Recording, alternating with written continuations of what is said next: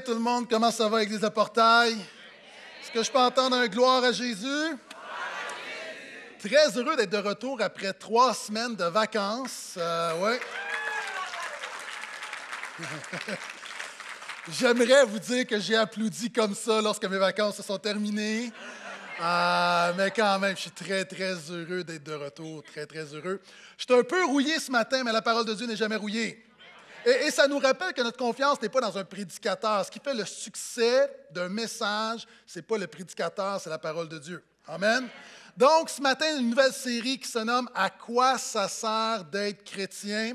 Souvent, on voit des trucs dans les magasins ou lorsqu'on visite des gens et on se demande à quoi ça sert.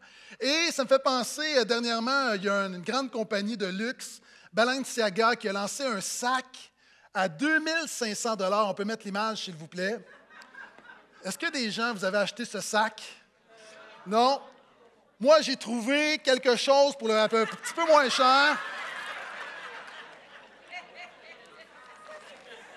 On peut mettre l'image, s'il vous plaît. Donc, à quoi ça sert de payer 2500 pièces quand tu veux avoir quelque chose pour une pièce? Maintenant, il y a un parallèle avec la vie chrétienne. À quoi ça sert d'être chrétien? Si on a les mêmes maladies, les mêmes problèmes, les mêmes difficultés que les non-chrétiens? Et je sais ce matin, vous savez, l'Église de est une grande église qui rejoint différents types de personnes et des gens qui viennent, même régulièrement, qui ne se considèrent pas chrétiens. C'est correct, parce que cette question, tu te la poses également. Pourquoi est-ce que je deviendrais chrétien si, au bout de la ligne, on vit la même affaire que ceux qui ne croient pas en Dieu? Donc, à quoi ça sert de prier? À quoi ça sert d'être à l'Église? À quoi ça sert de se consacrer? À quoi ça sert de payer le prix? À quoi ça sert de vivre pour Dieu si au bout de la ligne, on n'en tire pas tellement d'avantages? Vous savez, souvent on a l'impression que lorsqu'on donne notre vie à Jésus, c'est comme si on contracte une assurance spirituelle. Et rapidement, on se rend compte que ce n'est pas parce que tu es chrétien que tu n'as pas de problème, que tu n'es pas malade que tu ne vas pas mourir. Donc, à l'époque, et c'est une très bonne question, à quoi ça sert dans ce cas-là d'être chrétien? C'est une excellente question que la Bible répond, particulièrement dans le livre de Malachie. Donc, pour les six prochaines semaines, on va étudier le livre de Malachie. Le livre de Malachie, les croyants de l'époque remettaient en question la foi. C'est-à-dire, ces gens-là avaient vécu des périodes difficiles, l'exil, 587 avant Jésus-Christ, et il y avait eu des promesses, des prophéties qui avaient été données. On leur disait, le Messie va venir, il va établir le royaume de Dieu, ça va bien aller, vous allez être bénis, vous allez voir, ça va être une époque de justice, de paix. Et ces gens-là reviennent dans leur pays, et se rendent compte que ce n'est pas le réveil, que le Messie n'est pas arrivé, qu'ils ne vivent pas le royaume de Dieu, qu'ils sont sous l'emprise d'un empire étranger. Ces gens-là sont dans la défaite. Et à un moment donné, ils se disent comment ça se fait si on sert Dieu que notre vie est misérable? Et le livre de Malachie, Dieu au travers le prophète Malachie, va apporter une réponse. Donc, une série de six messages. Et ce qui est intéressant, vous savez, c'est que souvent, la parole de Dieu va dire tout haut ce que les chrétiens pensent tout bas. Si tu nous visites ce matin, puis tu vois, il y a des gens autour de toi, puis ils tapent des mains, puis peut-être qu'ils bougent un peu les fesses dans la musique. Puis ces gens-là, tu les vois, ils sont Alléluia, gloire à Jésus. C'est correct, mais dis-toi que dans les cœurs, ces gens-là doutent quelquefois. Moi, je crois que c'est possible d'être chrétien et quelquefois d'avoir des remises en question, quelquefois de douter. Je te dis pourquoi que c'est possible? Parce que bien que j'aime Jésus de tout mon cœur, il m'arrive quelquefois dans des saisons de ma vie de douter. Et la parole de Dieu nous donne justement une réponse. À quoi ça sert d'être chrétien? C'est toujours là. ce que je peux entendre Alléluia? Donc, si vous avez une Bible, ouvrez avec moi dans le dernier livre de l'Ancien Testament, dans le livre du prophète Malachie. Pour ceux qui n'ont pas leur Bible, ceux qui n'ont pas de Bible, tout simplement, ne vous en faites pas, vous pouvez suivre sur l'écran. Donc, à quoi ça sert d'être croyant, de servir Dieu, d'obéir à la parole de Dieu, de prier, de se consacrer, de faire le bien? Si au bout de la ligne, on n'en tire pas plus d'avantages. Il y a différentes remises à question dans le livre de Malachie. La première chose que les gens de l'époque vont remettre en question, c'est l'amour de Dieu. Est-ce que Dieu nous aime vraiment? Malachie 1, verset 1 à 3 pour l'instant. Sentence parole du Seigneur à Israël par l'intermédiaire de Malachie. Je vous aime, dit le Seigneur. Wow! Pense qu'on pourrait arrêter là. Dis quelqu'un à quelqu'un à côté de toi, Dieu t'aime. Je sais que ça prend de la foi. Il y a du monde qui ne sont pas aimables. Il y a des airs bêtes à côté de vous. Il y a du monde qui n'a pas une bonne attitude. Mais Dieu les aime pareil. Est-ce qu'il y a des gens qui ont la foi ici? Oui, Dieu aime tout le monde. OK. Je vous aime, dit le Seigneur, mais vous dites, en quoi nous aimes-tu? En quoi nous aimes-tu? Et, je vais arrêter ici pour l'instant. En quoi nous aimes-tu? La première chose, avant de voir à quoi ça sert d'être chrétien, de commencer mon message, je vais juste dire à quoi ça sert d'étudier le livre de Malachie. Premièrement, juste à la base. Vous savez, lorsque mon équipe me demandait, Pasteur Gaétan, lorsque tu reviens de vacances, ça va être quoi ta série estivale? J'ai dit, je vais prêcher sur le livre de Malachie. Ils étaient aussi excités que s'ils découvraient un sandwich au jambon dans leur boîte à lunch. Ah, OK. Pourquoi lire le livre de Malachie? Bien, premièrement, parce que toute la Bible, toute, toute, toute, toute, toute, toute, toute, toute, toute la Bible est inspirée. Amen? Toute. Donc, c'est comme les gars, dans notre coffre à outils, on a un petit tournevis qu'on ne sert pas souvent, mais lorsque tu en as besoin, il est utile. Et la Bible dit que toute la parole de Dieu, elle est utile. Malachie est utile pour ta vie. C'est pour ça qu'il faut le lire. Deuxièmement, l'Ancien Testament était la Bible de Jésus et des apôtres. Est-ce que tu savais que Jésus prêchait seulement de l'Ancien Testament, il n'y avait pas le Nouveau Testament? C'est l'ombre des choses à venir. Donc, c'est important, si tu veux saisir la pleine réalité de ce que Jésus a fait pour toi, tu dois comprendre l'ombre des choses à venir. Par exemple, cet été, on joue au frisbee, on est en famille, et à un moment donné, tu as toujours quelqu'un qui est dans la lune, qui oublie qu'il est en train de jouer au frisbee. Et là, à un moment donné, le frisbee arrive par là, mais la personne regarde par là. Et là, tu dis attention. Et là, au dernier moment, tu vois l'ombre du frisbee et tu attrapes le frisbee. L'Ancien Testament te prépare à attraper l'œuvre de Jésus pour ta vie. C'est l'ombre des choses à venir. Pourquoi est-ce qu'il faut lire Malachie dans l'Ancien Testament? Parce que l'ensemble de l'Ancien Testament enseigne l'histoire du salut. C'est comme quand tu es au cinéma et à un moment donné, vous savez, au cinéma, il y a les boissons gazeuses. Puis à un moment donné, il faut, il faut l'évacuer, la boisson gazeuse. Tu écoutes le film et là, tu n'en peux plus, tu vas aux toilettes, tu reviens et tu as manqué une scène super importante. Et pour le reste du film, tu manques un peu la richesse du film. Et il y a des gens, tu manques la richesse de ce que Jésus a fait pour toi parce que tu n'as pas lu l'Ancien Testament. Donc, c'est important. On lit l'Ancien Testament pourquoi? Parce que tu ne peux pas comprendre la bonne nouvelle de Jésus sans comprendre la mauvaise nouvelle de l'Ancien Testament. On lit l'Ancien Testament, c'est important. Pourquoi? Parce que tous les livres de l'Ancien Testament révèlent quelque chose sur ton besoin. Peut-être que tu ne sais pas, mais tu as besoin de Dieu. Tous les livres de l'Ancien Testament révèlent quelque chose sur la grâce de Dieu. Tous les livres de l'Ancien Testament nous disent quelque chose sur Jésus. Est-ce que je peux entendre Amen? Puis tu as besoin de lire Malachie. Pourquoi? Parce que la Bible nous dit que Dieu a parlé de différentes manières. Puis il y a des gens, tu as besoin de varier ta diète spirituelle. Moi, j'aime le bacon. Mais je ne peux pas manger juste du bacon. Des chrétiens disent C'est quoi le rapport? Merci de poser la question. Tu ne peux pas seulement lire les psaumes ou les proverbes ou les évangiles. Tu as besoin de varier, tu as besoin de comprendre que Dieu a quelque chose à dire au travers Malachie. Amen. Également, tu as besoin, parce que lorsqu'on lit les prophètes, on se rend compte que notre espérance n'est pas dans un royaume terrestre, c'est dans le royaume spirituel de Jésus, le roi des rois. Et finalement, tu as besoin, et je pourrais continuer comme ça, mais tu as besoin de lire Malachie, tu as besoin de lire l'Ancien Testament, de connaître la Bible. Pourquoi? Parce que la Bible dit de résister au diable. Comment est-ce qu'on résiste au diable? En faisant la danse de la pluie? Résister par la foi. Est-ce qu'on est d'accord que la foi est fondamentale? Si tu veux des victoires spirituelles dans ta vie, tu ne peux pas avoir de victoire sans la foi. Amen. Comment est-ce qu'on nourrit notre foi? La foi vient de ce qu'on entend et ce qu'on entend vient de la télévision, de YouTube. La foi vient de ce qu'on entend et ce qu'on entend vient de la parole de Dieu. Et comment est-ce qu'on demeure dans la parole de Dieu? Comment est-ce qu'on se nourrit de la parole de Dieu? En écoutant un message par semaine pendant 35 minutes, c'est notre nourriture. Est-ce que des gens, tu manges seulement pendant 35 minutes dans ta semaine? Non, en la lisant. Tu dois la lire. Tu as besoin de te l'approprier. Vous savez, la parole de Dieu, il y a toutes sortes de choses, mais la vie n'est pas facile. La vie est un combat, il y a des épreuves. Et tu as besoin d'être équipé. Puis il y a des gens qui, leur seul équipement, leur seule munition, c'est le dimanche matin, ce que le pasteur leur donne. Moi, je te donne 5-6 munitions, puis toi, tu t'en vas à la guerre avec 5-6 munitions. Tu as besoin d'apprendre à t'équiper toi-même, et la seule manière de t'équiper, c'est en lisant étudiant la parole de Dieu par toi-même. Est-ce que je peux entendre un vrai Amen? OK. Maintenant, la Bible nous dit, sentence parole du Seigneur à Israël par l'intermédiaire de Malachie, Je vous aime, dit le Seigneur. Wow. Tout commence toujours par l'amour de Dieu.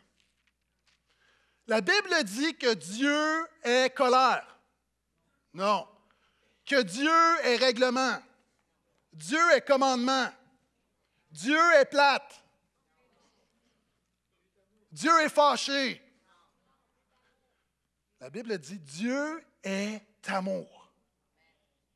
La définition la plus simple de Dieu, c'est Dieu est amour. Et ça ne veut pas dire que Dieu est seulement amour. Parce que moi, j'aime mes enfants, mais je peux me mettre en colère contre mes enfants parce que je les aime. Mais ça, c'est un autre message. Dieu est amour. Ça veut dire quoi? Ça veut dire que tu ne peux pas comprendre l'amour de Dieu en réduisant l'amour de Dieu à tes émotions humaines. Si Dieu est amour, ça veut dire que lorsque Dieu aime, son amour n'a pas de commencement, n'a pas de fin, n'a pas de limite. Est-ce que je peux entendre Amen? Toi, imagine, c'est quoi l'amour? Mais ça, ce n'est qu'une goutte d'eau dans l'océan de l'amour divin. Comprendre l'amour de Dieu, vouloir comprendre l'amour de Dieu, c'est comme essayer de rentrer l'océan Atlantique dans ta piscine. Tu ne peux pas rentrer l'immensité de l'amour de Dieu dans ta petite tête. Et gens disent Hey, il nous insulte un matin. Non, non, Dieu t'aime. Même si c'est une petite tête, il t'aime. On est limité. Mais Dieu, son amour est immense. Amen. Donc, c'est important de comprendre que l'amour de Dieu est tellement plus grand que ce qu'on peut penser, imaginer. Et ça nous dit que l'amour de Dieu est personnel. Ça aussi, dans notre culture, souvent, on va, on va inverser le verset en disant non pas Dieu est amour, mais l'amour est Dieu. Là où il y a de l'amour, il y a du divin. Love is in the air. Non. Non. L'amour de Dieu est personnel. Dieu n'est pas un esprit impersonnel. Mon électricité à la maison ne m'aime pas. Hydro-Québec m'aime beaucoup. Mais l'électricité, lorsque je mets les pieds dans un ruisseau, le ruisseau ne dit pas Je t'aime, Gaétan. Pourquoi? Parce que c'est impersonnel. Dieu est amour, ça veut dire que Dieu est un Dieu personnel. Il pense à toi, il t'aime personnellement. Donc, ça veut dire que oui, son amour est illimité, son amour est personnel. Et la Bible nous enseigne vous savez, une des raisons pourquoi l'être humain cherche tellement après l'amour, tout le monde ici, on soupire après l'amour. Tout le monde. Tout le monde. Et il y a des gens ici, tu es tellement en carence d'amour, tu es un peu comme lorsqu'on voit ces documentaires de gens qui sont, perdus dans, qui sont perdus dans le désert, à un moment donné, il y a un petit filet d'eau qui coule. Puis il y a des gens, tu es comme ça, tu cours après les gouttes d'eau humaines, ne réalisant pas l'océan d'amour divin que Dieu a pour toi. Ce besoin-là vient d'où? C'est que Dieu est amour, il t'a créé. L'amour est quelque chose de fondamental. Et Dieu agit toujours par amour.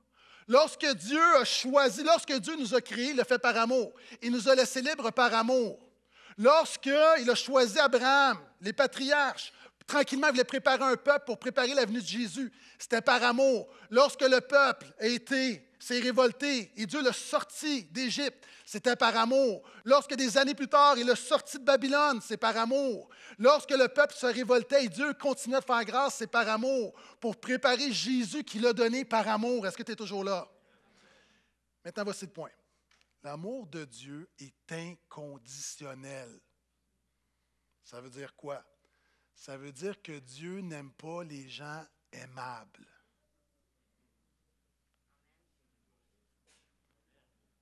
Souvent, on, est tellement, souvent, on croit qu'on est tellement exceptionnel. Dieu est tellement béni de nous aimer.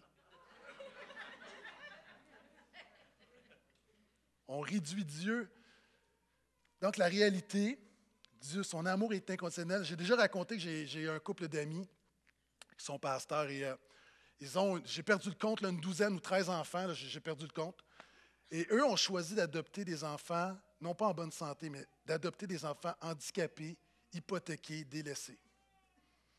Vous savez, dans certains pays, lorsqu'on veut adopter, les, parents vont là, on regarde, puis on, choisit l'enfant le plus beau, le plus en santé, et eux, ils font le contraire. ils choisissent d'aimer des enfants que personne ne veut. Et ça, c'est exactement ça que Dieu fait avec nous. Alors qu'on n'est pas aimable, alors qu'on est hypothéqué, alors qu'on est dysfonctionnel, c'est le lot de l'humanité, Dieu a choisi de t'aimer. Est-ce que je peux entendre un vrai Amen à ça?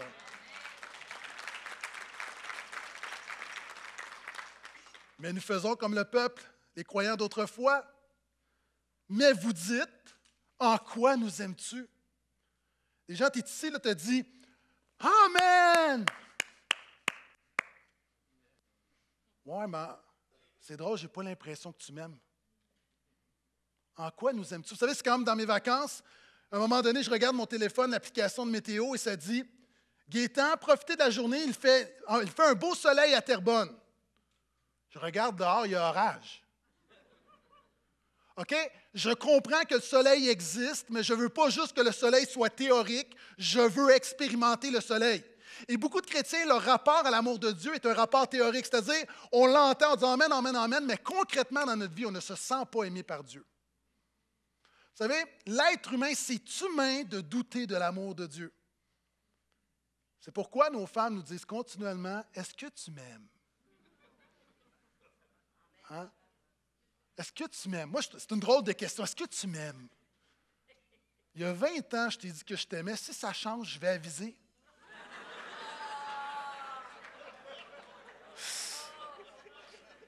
On doute, les enfants. Les enfants, Papa, on peut-tu aller à Walt Disney? Ben non, ça coûte trop cher. Tu nous aimes pas. Tu demandes à tes enfants de faire le ménage de leur chambre? Tu m'aimes pas. Et là, on rit, mais on est pareil. On perd notre job, on a une épreuve, nos proches est malade, et on remet en question l'amour de Dieu. En quoi est-ce que tu nous aimes? Je suis un chrétien, je t'ai servi, je suis à l'église, je suis fidèle, puis comment ça se fait, ça m'arrive à moi? Qu'est-ce que tu es en train de faire? Tu es en train de dire en quoi nous aimes-tu, en quoi m'aimes-tu? Et voici la clé. Dieu va donner une réponse qui peut choquer au verset 2 et 3, mais qui nous aide à comprendre. Donc, je vous aime, dit le Seigneur, mais vous dites en quoi nous aimes-tu? Ésaü n'est-il pas frère de Jacob, déclaration du Seigneur? Cependant, j'ai aimé Jacob et j'ai détesté Ésaü. Wow! OK. Ce verset m'a longtemps semblé comme un des plus problématiques de la Bible. Paul, le pire, c'est que Paul va réutiliser ce verset-là. Donc, c'est un verset qui longtemps me dérangeait parce que je ne comprenais pas. Maintenant, voici. Troisièmement, c'est humain de douter de l'amour de Dieu. Mais quatrièmement, c'est ce que nous enseigne Dieu dans Malachie, tu ne peux expérimenter l'amour de Dieu sans comprendre la grâce de Dieu. Je vais le redire parce que tu n'as pas compris. Tu ne peux expérimenter l'amour de Dieu sans comprendre la grâce de Dieu. Les mots sont importants. Je n'ai pas dit ressentir, j'ai dit expérimenter. Le but de la vie chrétienne n'est pas de ressentir, parce que tes émotions à un moment donné, quand ça va mal, tes émotions vont te laisser, tu es déprimé, tu es découragé, tu penses que Dieu t'a abandonné. Ce qui va te faire te rendre persévérant, ce n'est pas tes émotions, c'est ta foi. Ce n'est pas tes émotions dues aux circonstances, c'est ta foi, ta foi dans la vérité de la parole de Dieu. Donc, ressentir n'est pas le but des gens qui disent Je ne ressens pas l'amour de Dieu. So what? Ce n'est pas le but. Mais tu peux expérimenter l'amour de Dieu sans le ressentir. Par exemple, je ne ressens pas mon cerveau, mais j'expérimente le fait que j'ai un cerveau. Pourquoi vous riez? Vous en doutez? Je ne ressens pas mes poumons, mais j'expérimente le fait qu'il y a de l'air qui passe dans mes poumons et que ça me maintient en vie. Le chrétien mature a compris qu'il y a des saisons où il ne ressent pas l'amour de Dieu, mais il expérimente quand même l'amour de Dieu au travers ses épreuves et ses difficultés.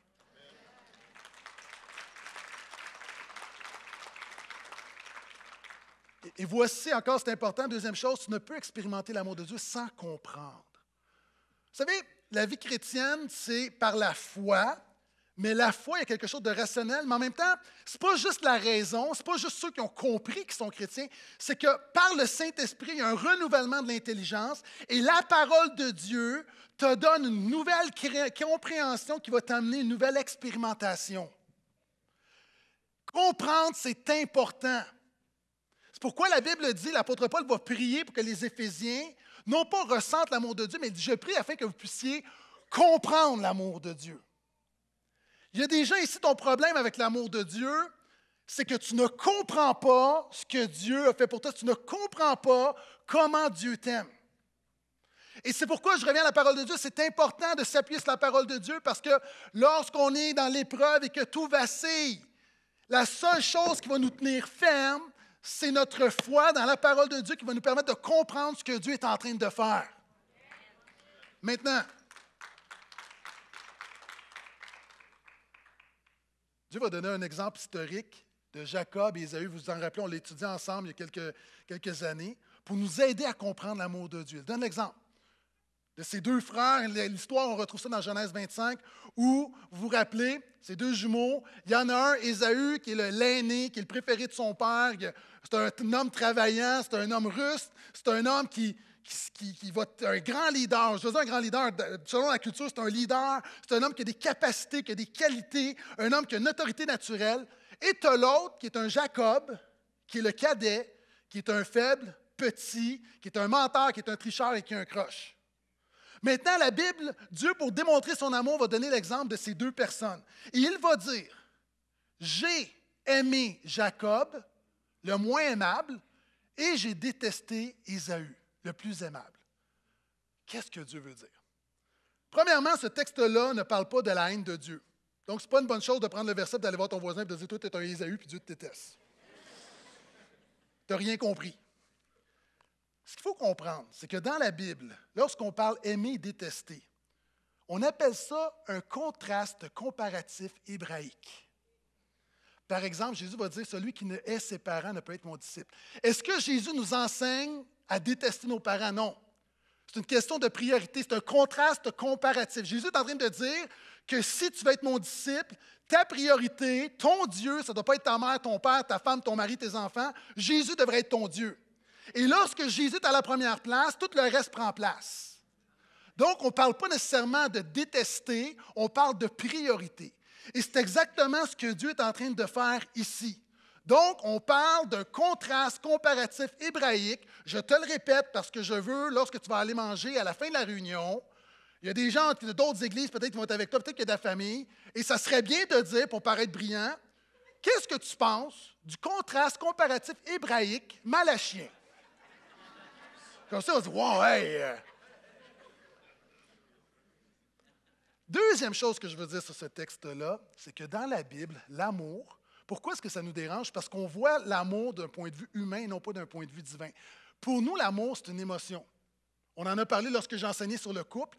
Dans la Bible, l'amour n'est pas une émotion, c'est toujours une action pour le bénéfice de quelqu'un d'autre. Donc, ici, on ne parle pas d'émotion, on ne parle pas de psychologie, on parle de quelque chose que Dieu a fait pour Jacob qu'il n'a pas fait pour Ésaü. La preuve que l'amour est toujours une action et pas une émotion, Jésus nous enseigne à aimer nos ennemis. Moi, mes ennemis, là, lorsque je pense à eux, j'en ai pas, mais mettons que j'en avais, là. Est-ce que je pense comme Ah oui, oh, il est tout mignon, mon ennemi. Mon petit ennemi nounet d'amour. C'est pas de ça qu'on parle. Jésus est en train de dire, même si tu as le goût de lui arracher la tête, fais-lui du bien. Là, il y a des gens qui sont choqués parce que moi, je n'ai jamais des émotions si violentes à l'intérieur de moi. Ça, ça veut dire que quand il y a des fois, il y a des gens au travail, il y a des collègues qui font des cheap shots, il y a des gens qui trahissent dans ta famille, la réponse, c'est de leur faire du bien. C'est comme ça, les amis. Tu ne le ressens pas, mais tu le fais. C'est une action. C'est pourquoi souvent, on a de nos ennemis, des gens qui ne sont pas gentils avec nous, puis on dit que Dieu te bénisse, ou comme on dit en anglais, que Dieu te blesse.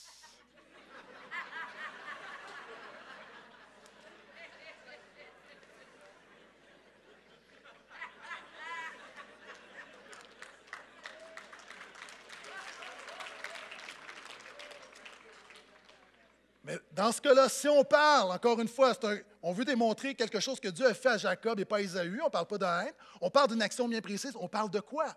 Et c'est C.S. Lewis, j'ai lu C.S. Lewis dans mes vacances, puis il dit une chose vraiment succulente. Quand on regarde à Isaü, Isaü, humainement, était plus béni que Jacob. Isaü, ça allait bien, ses affaires. Isaü est en santé, une bonne constitution. Isaü a la prospérité, il a la stabilité, il a le respect de ses parents, il a l'autorité. Moi, si c'est ça, je dis Seigneur, déteste-moi. Jacob est humilié, il doit fuir, il est manipulé par son beau-père, c'est un, pendant longtemps dans la pauvreté. La Bible nous dit qu'il y a une condition physique qui il y a moins la santé qu'Ésaü. Donc, la prospérité, la santé, l'autorité, et tout ce qui finit par et, c'est Ésaü qui l'a et pas Jacob. Et il y a des prédicateurs qui nous enseignent qu'une des manières de démontrer que Dieu t'aime, c'est par ta santé, c'est par ta voiture, c'est par ta Rolex, c'est par ta maison, c'est par ta job. Ça, c'est la théologie d'Ésaü. Tu veux pas ça.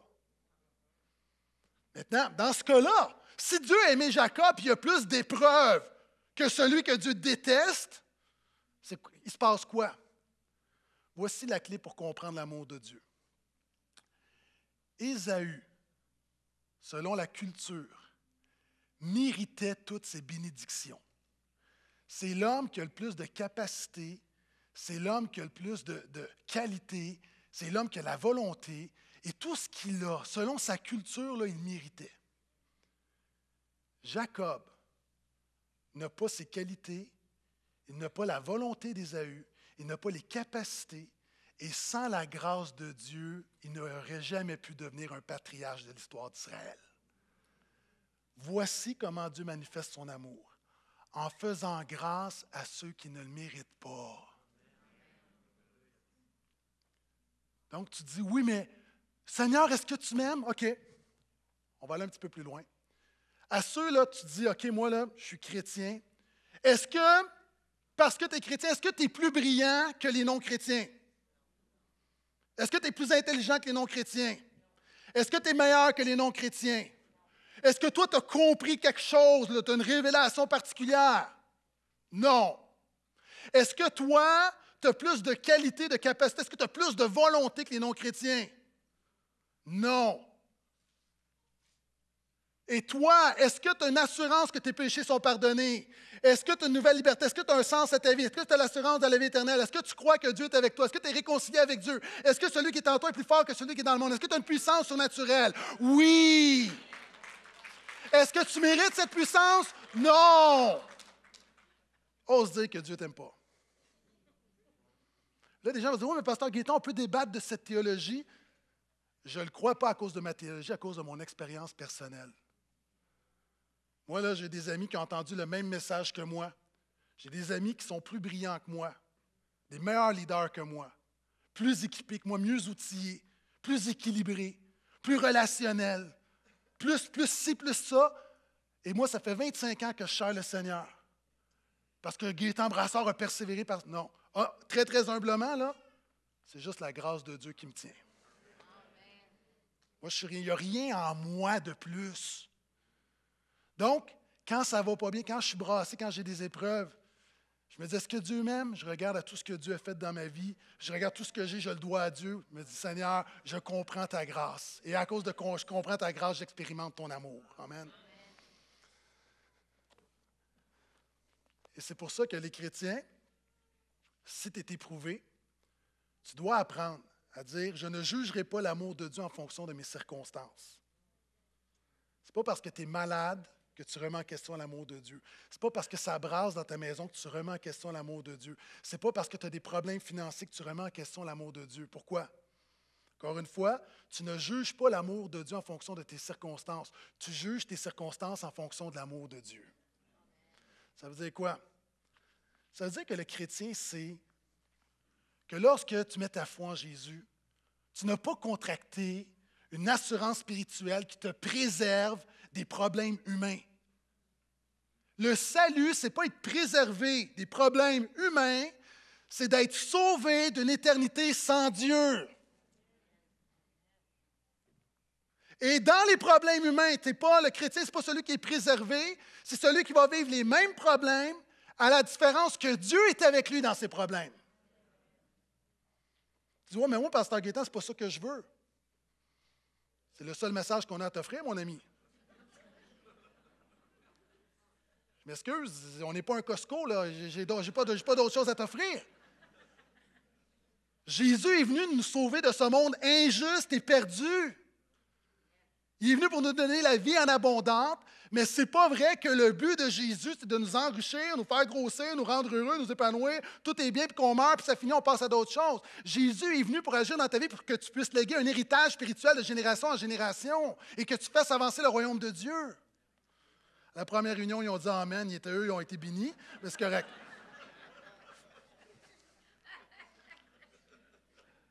Ça veut dire quoi ne pas juger l'amour de Dieu à la lumière de nos circonstances? Je l'ai déjà raconté. Si on te donne une cuillerée de farine, est-ce que c'est bon? Non. Une cuillerée de levure, est-ce que c'est bon? Un œuf cru, est-ce que c'est bon? Non. Il y a des gens, présentement, tu veux une épreuve, là, tu l'œuf cru dans la bouche. Il y en a d'autres, c'est une épreuve différente, c'est la farine. Tu as la bouche pleine de farine plus que la bouche t'est pris dans la farine. Celui qui n'a pas d'espérance se plaint et dit Ça y est, Dieu m'aime pas. Mais le chrétien qui comprend l'amour de Dieu, qui comprend la grâce de Dieu, se dit Oui, présentement, j'ai une saison, c'est de la levure, j'ai une saison de farine, j'ai une saison, c'est un œuf, mais je crois que mon Dieu est en train de préparer un gâteau.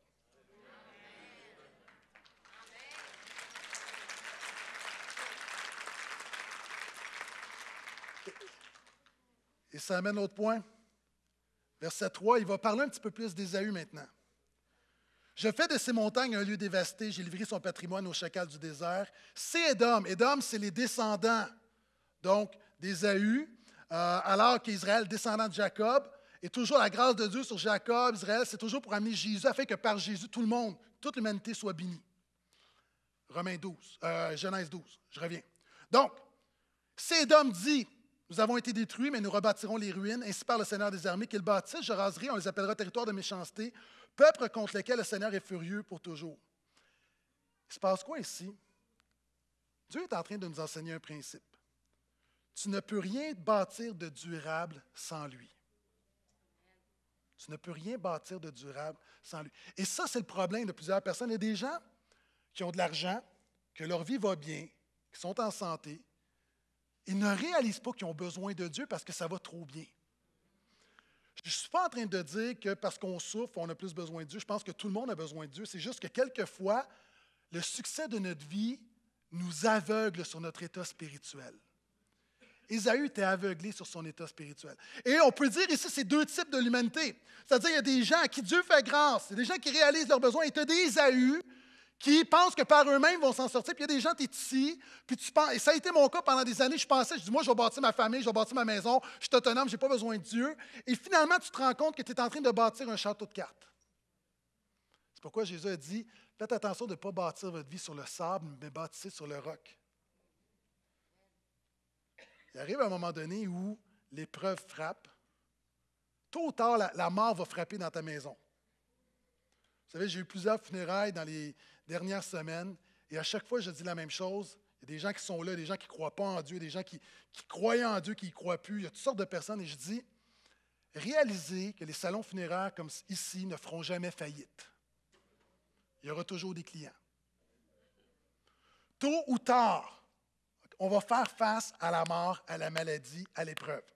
Ça fait partie de ce monde injuste qui s'est révolté contre Dieu. C'est pourquoi Dieu a pourvu quelque chose. Je vais y revenir. Mais le point, c'est qu'on a Isaïe qui pense qu'il n'a pas besoin de Dieu.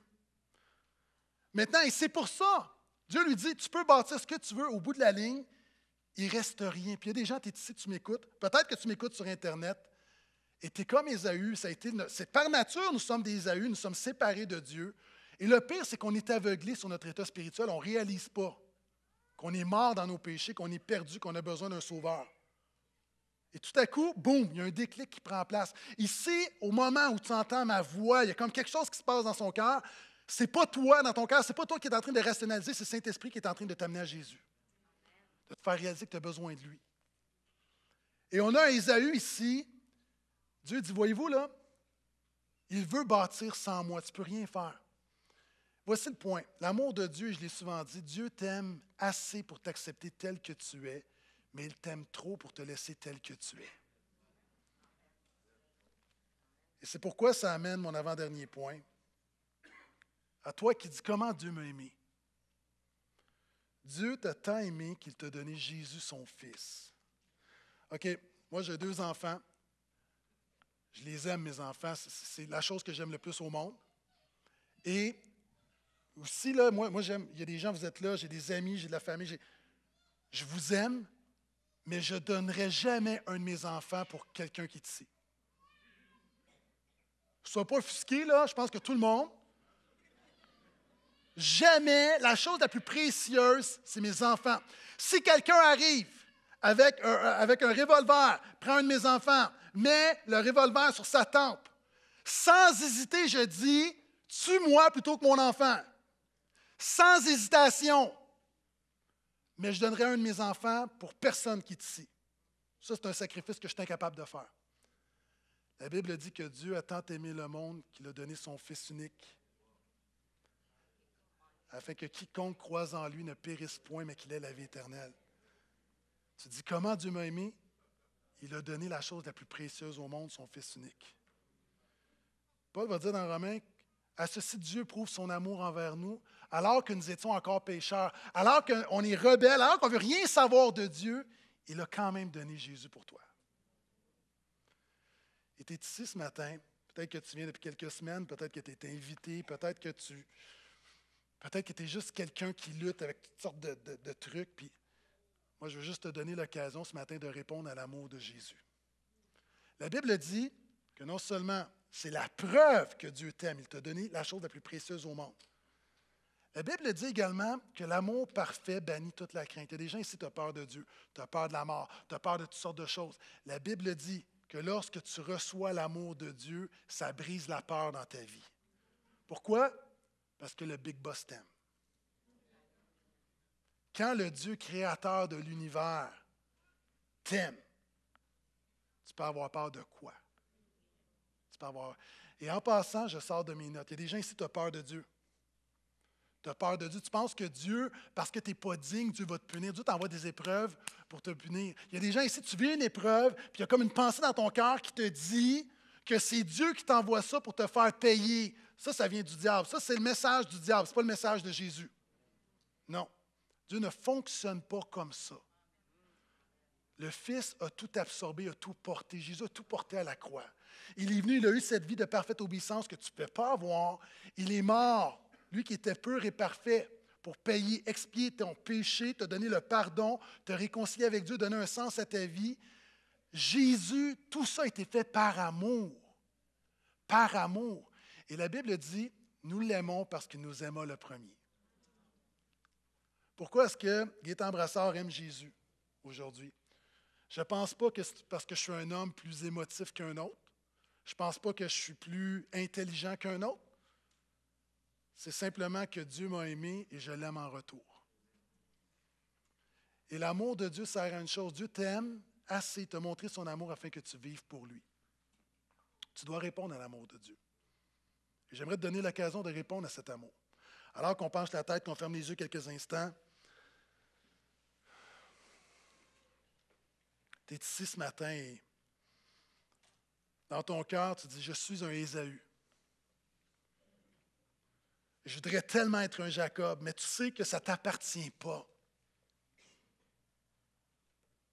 Tu dis quelque part, je réalise que je ne mérite pas la grâce de Dieu. Je réalise que l'amour de Dieu ne dépend pas de ma position, ne dépend pas de mon compte de banque, ne dépend pas, dépend pas de mes accomplissements. Dieu m'aime et je veux répondre. Et la manière de répondre, c'est de mettre ta foi en Jésus, de mettre ta confiance en Jésus. Et je te défie là maintenant alors que l'amour de Dieu ne doit pas rester théorique, je l'ai. Tu veux expérimenter l'amour de Dieu, tu veux vivre pour Dieu. De la même manière que Dieu a fait quelque chose de bien précis pour toi, il a donné son Fils unique. Dieu t'appelle à faire quelque chose de bien précis, de mettre ta foi dans ce Jésus, de faire de ce Jésus ton sauveur, de faire de Jésus ton Seigneur. Alors que les yeux sont fermés, tu es ici ce matin, tu veux mettre ta foi en Jésus. Tu vas être réconcilié avec Dieu. Tu vas être pardonné. Tu veux une deuxième chance. Tu veux que ta vie compte. C'est ton cas, justement. L'autre, tu es simplement de lever la main. Un signe de foi. J'aimerais prier pour toi dans quelques instants. Donc, tu es ici ce matin, tu veux recevoir Jésus. Là où tu es, simplement de lever ta main. Je vois votre main à ma droite. Je vois votre main à l'arrière.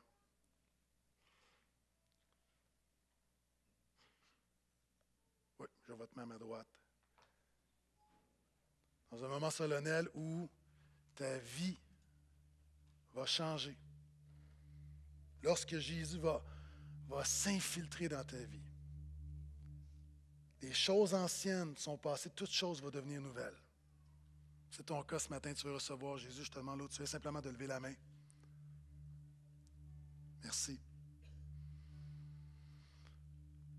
On peut ouvrir les yeux. Notre texte se termine en disant une chose bien, bien précise. Verset 5. Vos yeux le verront et vous direz vous-même, le Seigneur est grand par-delà du territoire d'Israël. Comment est-ce qu'on peut répondre à l'amour de Dieu? La louange est la réponse à l'amour de Dieu. Ce matin, si tu crois, est-ce que des gens, tu crois que Dieu t'aime? Vraiment, est-ce que des gens, tu crois que Dieu t'aime? OK, ta réponse, ça va être la louange. Ta réponse, c'est d'élever ce Dieu qui t'aime. Ta réponse, c'est de laisser tes problèmes, de laisser tes soucis, de laisser tes épreuves pour dire ce matin, la seule chose qui compte pendant les quelques minutes qui suivent, la priorité, c'est de répondre à cet amour en lui donnant la louange et la gloire qui lui est due. Est-ce que je peux entendre Amen à ça? Et en entrant dans la louange, j'aimerais qu'on puisse faire cette prière de l'apôtre Paul. Et c'est très pastoral. Il y a des gens ici, tu te demandes comment prier, tu ne sais pas comment prier, tu veux apprendre à prier? Commence à prier la Bible. Commence à prier ce qu'il y a dans la parole de Dieu. Je vous invite à vous lever. Et voici cette prière de l'apôtre Paul qui se trouve dans Éphésiens 3. Voici ce qu'il prie. C'est pourquoi je fléchis les genoux devant le Père, de qui toute famille dans les cieux et sur la terre tient son nom. Toutes les familles représentées ici doivent leur existence à la bonté de Dieu. Tout le monde, Dieu est créateur afin qu'il vous donne, selon la richesse de sa gloire, d'être rendu fort et puissant par son esprit. Est-ce qu'il y a des gens qui ont besoin de force et de puissance spirituelle ce matin? D'être fort et puissant par son esprit au profit de l'homme intérieur. Que le Christ, que Jésus habite dans votre cœur. Et comment avoir plus de Jésus dans notre cœur? Par la foi en lui faisant confiance, en croyant, en vivant. Que le Christ habite dans votre cœur par la foi et que vous soyez enracinés et fondés dans l'amour. La seule chose qui te tient, qui te rend persévérant, c'est d'être ancré, fondé sur l'amour de Dieu. Pour être capable de comprendre, comprendre pour être capable de comprendre avec tous les saints. Donc, cette prière est pour tout, le monde qui est ici ce matin. Avec tous les saints, capable de comprendre quoi? Quelle est la largeur, la longueur, la profondeur, la hauteur et de connaître l'amour de Christ qui surpasse toute connaissance, de sorte que vous soyez remplis jusqu'à toute la plénitude de Dieu. Et cette prière se termine en disant, à celui qui peut Dieu est le seul qui peut. À celui qui peut par la puissance qui est à l'œuvre en nous. Tu viens à l'Église et tu penses, tu, dis, OK, est-ce qu'il y a une puissance? Est-ce que la louange va être puissante? Est-ce que la prédication va être puissante? Si tu as mis ta foi en Jésus, le Saint-Esprit, la puissance est en toi. La bonne nouvelle, c'est que la réunion se termine, mais la puissance continue. De sorte que vous soyez remplis jusqu'à la toute plénitude de Dieu et à celui qui peut, par la puissance qui est à l'œuvre en nous, et elle fait quoi cette puissance dans ta vie? Faire infiniment au-delà de tout ce que nous demandons ou pensons. Que toi, tu es ici ce matin, tu te dis, OK, je pense que Dieu peut faire ça. Je vais avoir de la foi, je vais prier ça, mais Dieu est capable de faire ça. Et Paul termine en disant, à lui la gloire dans l'Église. Est-ce qu'on peut dire à lui la gloire dans l'Église? À lui la gloire dans l'Église. Si Sporter à Laval, si on ne donne pas la gloire à Jésus, qui donnera la gloire à Jésus? Ce ne sera pas le marché aux puces Saint-Martin. À lui la gloire dans l'Église, en Jésus-Christ, dans toutes les générations. Que tu aies 14 ans, que tu aies 108 ans, tout le monde ce matin, donnons gloire à Jésus à tout jamais. Amen, Amen et Amen. Louons-le.